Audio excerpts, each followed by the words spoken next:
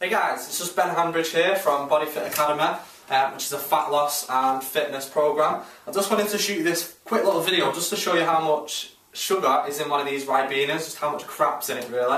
Now a lot of people will say they'll have these, you know, to give them energy and stuff like that, but if you're looking to either lose weight, drop body fat, tone up, anything like that, if you're looking to make a change with how your body looks, then you need to be ditching stuff like this, okay? Because if you drink stuff like this, then you're going to use the sugar within that as fuel and store the excess sugar as body fat, okay? Now, you want to be burning the fat that's on your body instead of the stuff you're putting in and immediately, immediately burning that, okay? So, I'm going to show you how much sugar is within one of these.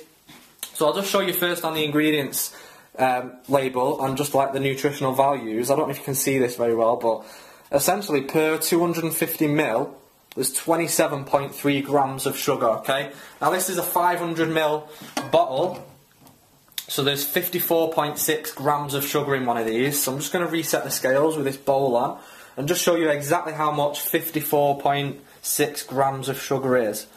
Okay, now you might have kind of imagined like about that much sugar is what's in one of them, but nowhere near, because as you can see that's only like 7 grams. Let's move the camera a bit. That's it. So as you can see it going in, and you can see the actual grams on the scales as well. There's a lot more sugar in them than you think.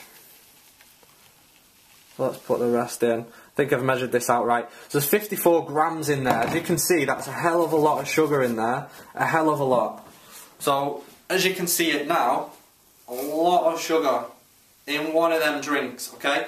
So all you need to do is just have a look at the food you're eating, the drinks you're drinking, and just see how much crap's actually in there. Okay? You might think, oh, just one of these won't do, you know, won't give, do you any harm, or one won't matter. But if you add these up over the space of 10 days, just work that out on how much sugar that is. Yeah. So over 10 times what I've just poured in there, so about 540 grams of sugar. Okay. So that's it, guys. I've been Ben Hanbridge from BodyFitAcademy.co.uk, and I'll speak to you soon.